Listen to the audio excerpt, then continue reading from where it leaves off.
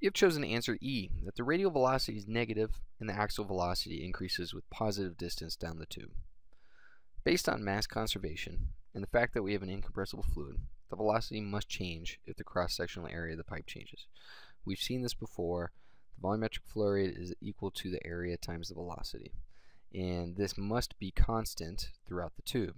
So if our area decreases, our velocity must increase. Thus, the axial velocity does increase with positive position. As we move to the right in the positive z direction, we're going to a smaller tube, our velocity is increasing.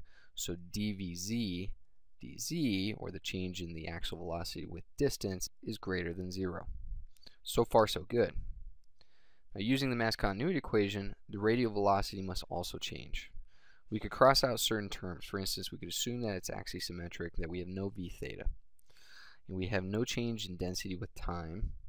So what we're left with in this picture for an incompressible fluid is the following relationship.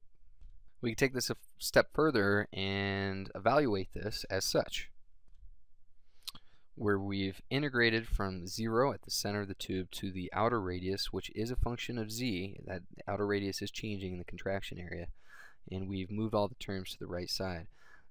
The key part of this is that we can see that the term RVR, the radius times the radial velocity, is equal to a negative value. So we know this is positive, as we had just shown. This integral is going to be positive.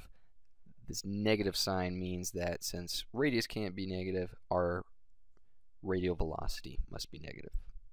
So we also think of this from a conceptual perspective, since we have a contraction, the fluid has to be pushed towards the center as it moves through that contraction.